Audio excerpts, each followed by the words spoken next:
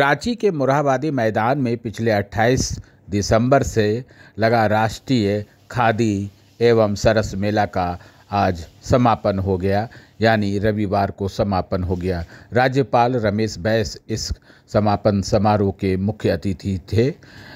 आज अंतिम दिन, मुख्यमंत्री की पत्नी कल्पना सोरेन भी मेला घूमने आई और उन्होंने चरखा में खासा दिलचस्पी दिखाई। इसके अलावा उन्होंने कुछ खरीदारी भी की है।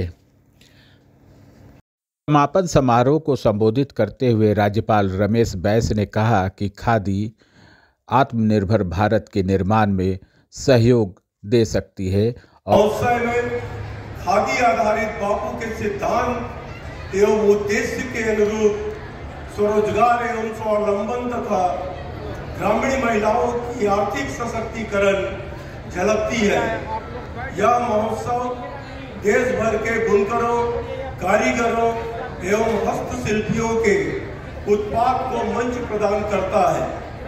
इस महोत्सव से उन्होंने गुलामी की जंजीरों को तोड़कर आज़ाद भारत की नींव रखी।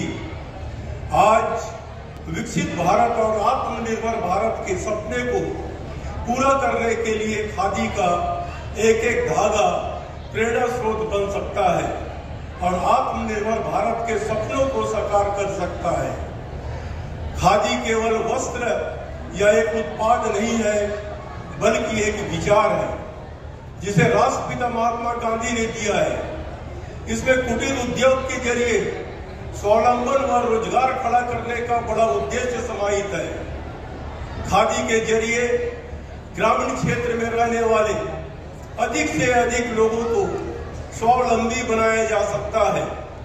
इसके लिए खादी ग्राम उद्योग बोर्ड उद्योग विभाग एवं ग्रामीण विकास विभाग को समन्वय स्थापित कर इस दिशा में कार्य करना होगा। राज्यपाल ने महात्मा गांधी पर आधारित प्रदर्शनी को भी बहुत गौर से देखा। इस प्रदर्शनी में बापू की पुरानी तस्वीरें काफ़ी संख्या में थीं।